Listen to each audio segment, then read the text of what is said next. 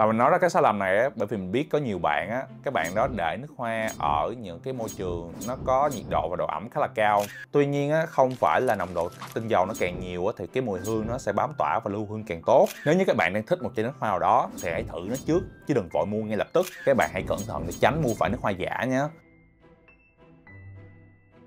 Hello chào các bạn, mình là Ryan và chào mừng các bạn đã quay trở lại với channel của mình. Còn nếu các bạn nào mà mới biết đến kênh của mình á, thì đây là kênh mình sẽ chia sẻ về những mùa hương nước hoa cho các nam và nữ dựa trên góc nhìn cá nhân của mình để các bạn có thêm những thông tin nếu như các bạn quan tâm một chai nước hoa nào đó. Đó với các bạn mà mới sử dụng nước hoa hoặc là sử dụng nước hoa được một thời gian rồi á, như các bạn có biết rằng á, là các bạn cũng có thể mắc phải những cái sai lầm trong quá trình mà tìm hiểu sử dụng hoặc là mua nước hoa hay không có những sai lầm trong quá trình khi mà mình trò chuyện, mình gợi ý cho các bạn những cái chai nước hoa thì mình phát hiện ra các bạn hay mắc phải những cái sai lầm này lắm. Còn nếu như bạn không dám chắc là bạn có mắc phải những cái sai lầm này hay không á, thì hãy xem đến hết video này nha để xem là mình bắt có đúng hay không nhé và trong cái video này mình sẽ đưa ra năm sai lầm khi mà các bạn sử dụng nước khoa và mình khá tự tin đó là các bạn sẽ mắc phải một trong năm cái sai lầm này. Những cái sai lầm này mình cũng đúc kết từ những cái trải nghiệm và cũng chính từ những cái sai lầm của mình nữa. Cho nên mình muốn chia sẻ với các bạn để các bạn không phải mắc phải những cái sai lầm giống như mình. Và mình sẽ đưa ra một số cách giải quyết ở từng cái sai lầm luôn. Và nếu như các bạn xem cái video này thấy hay và giúp ích được cho các bạn có thể để lại cho mình một like cũng như là một subscribe để tiếp theo nhiều động lực cho mình nữa nhé. Cảm ơn các bạn nhiều lắm. Còn bây giờ thì mời các bạn xem video. Sai lầm đầu tiên mà mình muốn chia sẻ đến với các bạn đó chính là sự đa dạng trong nước hoa. Sự đa dạng ở đây không nhất thiết là các bạn phải có nhiều chai nước hoa, mà đôi khi các bạn chỉ cần một chai nước hoa mà nó thật sự đa dụng, dùng vào nhiều dịp khác nhau, nó cũng là đủ rồi. Ở trong cái video mà mình gợi ý cho các bạn mà mới sử dụng nước hoa, những cái chai nước hoa mà an toàn thì mình cũng có nói là các bạn có thể sở hữu một chai nước hoa mà nó đa dụng trước sau đó là các bạn xem cái nhu cầu của bạn là các bạn cần thêm một cái mùi hương để đi tiệc, đi hẹn hò, đi làm, đi tập thể thao chẳng hạn, thì các bạn thêm vào sau cũng được. Ở bản thân mình thì lúc trước khi mình mới tìm hiểu về nước hoa thì do mình ở sài gòn và các bạn cũng biết là ở sài gòn thì cái thời tiết nó cũng gần như là nóng quanh năm, nó rất ít thời điểm mà nó có cái khí hậu lạnh cho nên đó là mình cũng tìm hiểu những cái chai nước hoa mà nó thiên hướng mùi mát mẻ để sử dụng phù hợp ở thời tiết ở Sài Gòn. À, tuy nhiên cho đến khi mà mình có dịp mình đi ra Hà Nội chơi á thì mình không có cái chai nước hoa nào mà dùng vào cái mùa lạnh cả mình nhớ lúc mà mình ra Hà Nội á lúc đó cũng là cái dịp cuối năm nữa nhiệt độ nó xuống khá là thấp. Mình không nhớ chắc lắm nhưng mà mình nhớ hình như khoảng trên dưới 10 độ thì phải. Thật sự trước đây á, khi mà mình đi tới những cái nơi mà có khí hậu lạnh á, thì maybe chỉ có đi Công Tum Măng Đen hay là Đà Lạt thôi chứ không có nơi những cái nơi mà nó thật sự nó quá lạnh như vậy. Và lúc đó mình chỉ mang mỗi cái chai uh, Tom Ford Umbrella Leather mà cái chai đó thì đối với mình khi mà mình sử dụng á, thì mình không thấy nó thật sự nó không thật sự tốt khi mà sử dụng ở cái thời tiết đó. Rồi đến khi mà mình đi qua úc mà mình du học á thì mình cũng có tìm hiểu trước á, là thời tiết của úc nó sẽ rất là lạnh. Mùa lạnh nó sẽ chiếm thời gian khá là nhiều trong năm. Và lúc mà khi mình mình đi qua úc á tại vì mình cũng không có chai nước hoa nào mà sử dụng vào mùa lạnh cả. Mình chỉ mang vài chai mình thích thôi như là chai silver mountain water nè với lại một số chai nó có tông mùi mát khác nữa. Nhưng mà không có chai mùa lạnh cho đến vào cái mùa thu đông ở bên úc á thì mình bắt đầu cảm thấy á, là những cái chai nước hoa mình mang theo á nó không có phát huy tốt nữa. Cho nên á, là mình mới tìm hiểu mình muốn mua những cái chai mà mùa thu đông. Nhưng mà lúc mà mình đi qua úc á thì mình đi du học chứ không phải là mình đi du lịch.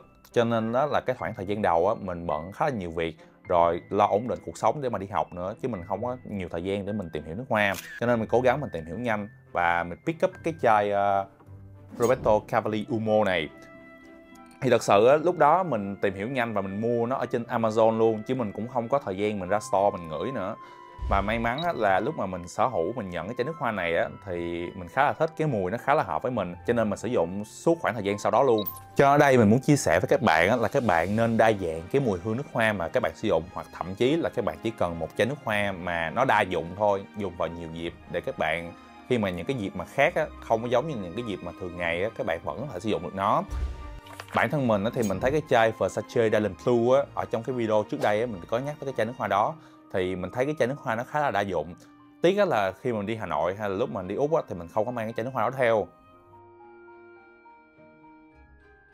Khi mà các bạn đi lựa nước hoa thì uh, các bạn có thể sẽ biết tới những cái loại nồng độ họ ghi trên những chai nước hoa như là eau de toilette nè, eau de cologne, eau de parfum, parfum chẳng hạn. Thì những cái loại nồng độ mà họ để trên những cái chai nước hoa để cho người sử dụng họ biết được rằng là cái chai nước hoa mà họ đang sử dụng có nồng độ tinh dầu là bao nhiêu. Ví dụ như là eau de cologne đó là khoảng 2 đến 4%, eau de toilette là 5 tới 15% và càng về sau thì cái nồng độ tinh dầu trong nước hoa nó sẽ tăng lên tuy nhiên á, không phải là nồng độ tinh dầu nó càng nhiều á, thì cái mùi hương nó sẽ bám tỏa và lưu hương càng tốt. Mình nhớ hồi nhỏ có vài lần mình đi mua đồ với là mẹ của mình và mẹ của mình có tới cái quầy nước hoa á, mình còn nhớ cái cô bán nước hoa cổ còn nói là cái nồng độ mà Eau de Parfum nó sẽ bán tỏa tốt hơn cái nồng độ Eau de Toilette và khi mình nghe cái đó thì mình giữ cái quan điểm đó cho đến mãi về sau luôn cho đến khi mà mình thật sự mình đi tìm hiểu về những cái mùi hương nước hoa á, thì mình mới biết á, nó không phải là như vậy. Và mình cũng còn biết á, là có khá là nhiều bạn đặc biệt là các bạn mà mới sử dụng nước hoa thì các bạn có thể hiểu lầm về những cái loại nồng độ trong nước hoa. Các bạn có thể hiểu á, là cái nồng độ eau de cologne hay là eau de toilette á, nó sẽ bám kém nhất và nồng độ eau de parfum hay là parfum nó sẽ bám tỏa tốt nhất. Và sự thật á, nó không phải là như vậy. Ở đây á, mình sẽ ví dụ cho các bạn một ví dụ. Đó chính là ở hai cái chai là Versace Eros và chai Tom Ford Neroli Portofino này. Thì ở cái chai Versace Eros á, nồng độ của nó sẽ là eau de toilette tuy nhiên á, nó lưu hương và bám hương rất là tốt. Độ lưu hương á, mình thấy nó từ 9 tới 10 tiếng lận. Còn tỏa hương á, thì hơn cả một cánh tay lận nó tỏa khá là mạnh trong khi cái chai Tom Ford Neroli Portofino này á thì nó lưu trên da mình từ khoảng 3 đến 4 tiếng à. Còn tỏa hương á, thì cũng khoảng nửa cánh tay nó tỏa không có mạnh. Cho nên á, là cái độ lưu hương và độ tỏa hương nó có tốt hay không á, nó còn phụ thuộc vào cái thành phần trong cái mùi hương nước hoa cũng như là cái cách mà pha chế của perfumer để làm ra cái chai nước hoa đó nữa. Và khi mà mình trò chuyện với là một số bạn á, thì mình mới nhận ra một điều á, là có nhiều bạn á, chỉ muốn tìm một cái mùi hương mà nó lưu hương và tỏa hương tốt thôi. Thì auto á, là các bạn nghĩ là cái mùi hương đó nó sẽ là mùi hương ngon bởi vì khi mà các bạn sử dụng nước hoa các bạn muốn là các bạn ngửi được cái mùi hương nước hoa đó nữa. Không biết là mình bắt bài như vậy có đúng hay không nha.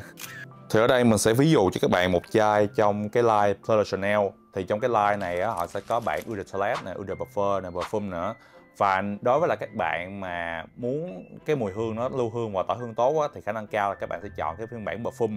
Bởi vì các bạn nghĩ là cái phiên bản parfum nó sẽ bám tỏa tốt nhất. Tuy nhiên ở cái phiên bản parfum á mặc dù đúng á, là nó lưu hương và tỏa hương tốt hơn thật.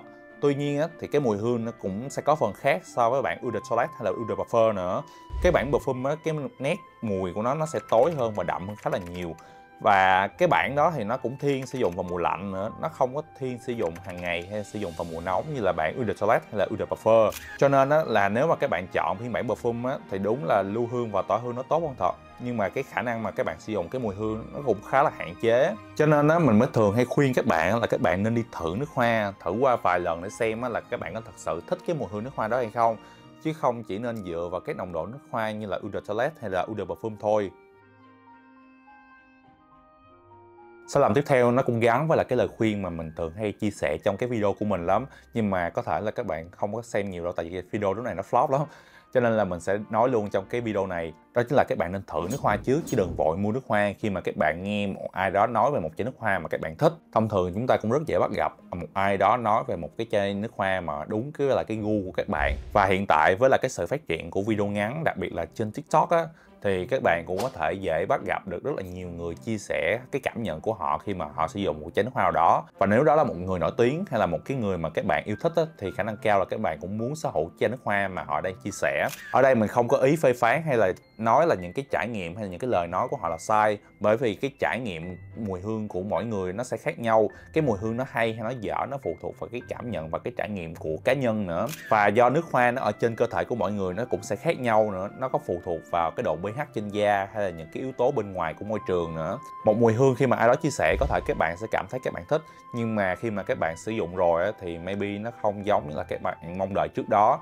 Trên da của mỗi người á, thì độ lưu hương và độ tỏa hương nó cũng có phần khác nhau nhất định nữa. Cho nên thông thường á, thì các hãng họ mới làm ra những cái dung tích nhỏ hơn. Ví dụ như là travel size nè vial hay là nước hoa mini á để cho người tiêu dùng họ thử nước hoa trước trước khi mà họ quyết định họ có mua chai full hay không. Và đó cũng là lời khuyên mà mình thường hay khuyên các bạn là các bạn nên đi thử nước hoa. Các bạn có thể đi ra store để thử nước hoa, hoặc là mua những cái ống vial hay là nước hoa mini về thử, để xem là thật sự các bạn có thích cái mùi hương đó hay không. Rồi sau đó các bạn quyết định mua chai full đó nó cũng chưa có muộn. Sai lầm thứ tư mình muốn nói về việc bảo quản nước hoa có nhiều người nói về cách sử dụng nước hoa hay xịt nước hoa như thế nào rồi, nhưng mà về việc bảo quản nước hoa thì mình thấy không có nhiều người nói tới. Bởi vì bản chất của cái chai nước hoa nó không có linh hoạt. Ở đây ý mình nói là cái môi trường và cái điều kiện khi mà các bạn bảo quản nước hoa thật sự cái việc mà bảo quản nước hoa nghe thì nó cầu kỳ, nhưng thật sự nó cũng đơn giản lắm. Bạn chỉ cần đặt cái chai nước hoa mà nó ở nơi mà cái điều kiện nhiệt độ nó không có thay đổi quá nhiều và tránh ánh nắng mặt trời là được các bạn có thể đặt nó trong phòng ngủ trên bàn trang điểm trên kệ trang trí hay là trong tủ quần áo của bạn là được rồi.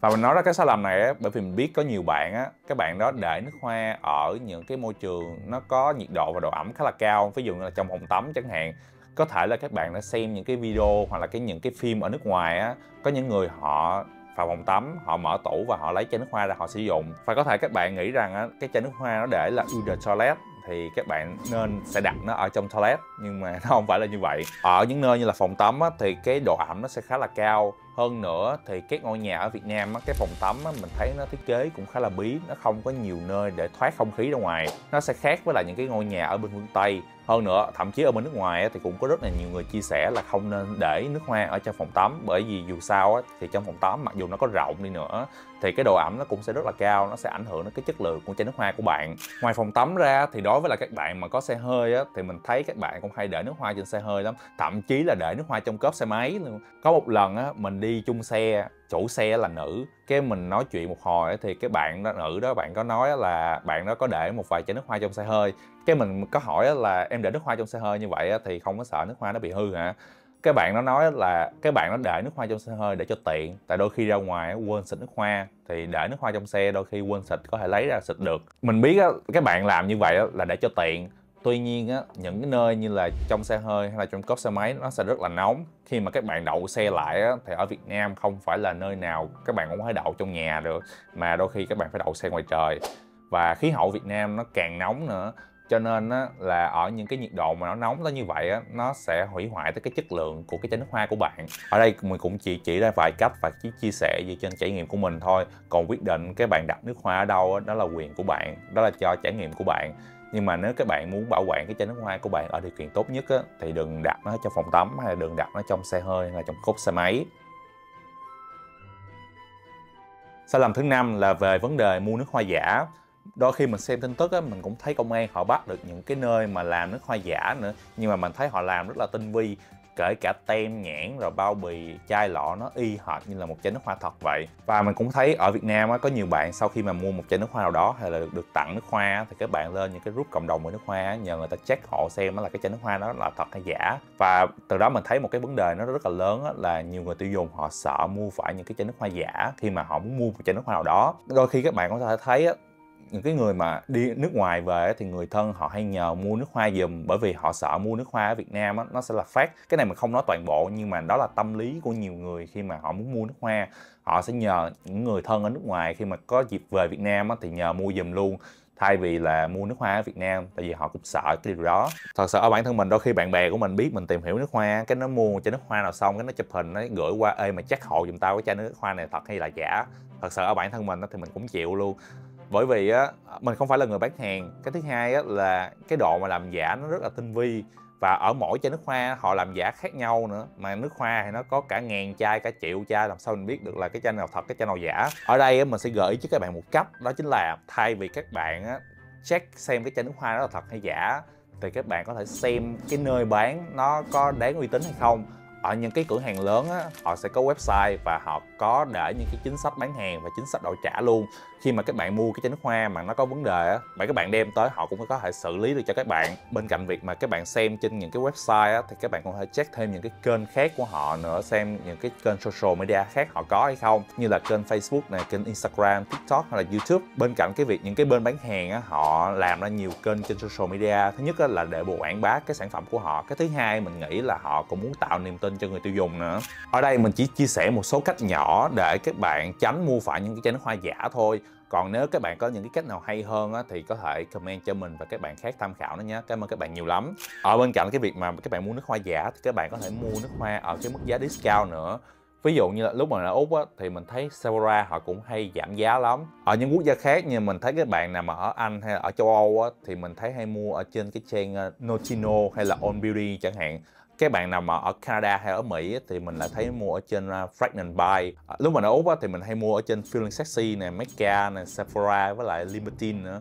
Những cái nơi đó thì họ cũng hay có discount lắm. Còn những cái trang như là Fragrant X hay là Fragrant Next á, thì các bạn có thể mua được ở bất cứ đâu. Các bạn ở Mỹ, Anh, Úc gì cũng có thể mua được hết à, và nó cũng hay có những cái discount lắm. Còn các bạn ở Việt Nam á, thì những cái cửa hàng lớn đôi khi mình thấy những cái dịp lễ lớn họ cũng hay có discount lắm. Ví dụ như là Valentine nè 8 tháng 3 nè Christmas nè Black Friday chẳng hạn. Cụ thể như thế nào á, thì đợi vào những cái dịp đó các bạn có thể check thử. Ở đây á, mình chỉ list ra cho các bạn nào quan tâm về giá khi mà mua nước hoa thôi còn mà cụ thể như thế nào á, nó sẽ phụ thuộc vào từng cái cửa hàng ở Việt Nam nữa. Và đó là những sai lầm mà mình nghĩ là các bạn khi mà sử dụng nước hoa dễ mắc phải. Các bạn có mắc phải sai lầm nào trong năm cái sai lầm mà mình chưa chia sẻ hay không? Nếu bạn không mắc phải sai lầm nào thì chúc mừng bạn nhé. Và không biết là mình có list thiếu những cái sai lầm nào hay không? Nếu có thì các bạn có thể comment cho mình biết được nhé. Cảm ơn các bạn nhiều lắm. Và nếu như các bạn xem video thấy hay và giúp ích cho các bạn có thể để lại cho mình một like cũng như là một subscribe để tiếp thêm nhiều động lực cho mình nữa nhé. Cảm ơn các bạn nhiều lắm. Và mình ra một video mới vào tối thứ bảy mỗi tuần. Nếu mình có thêm thời gian thì mình sẽ cho thêm một video vào thứ tư nữa cho nên các bạn không bỏ lỡ đâu.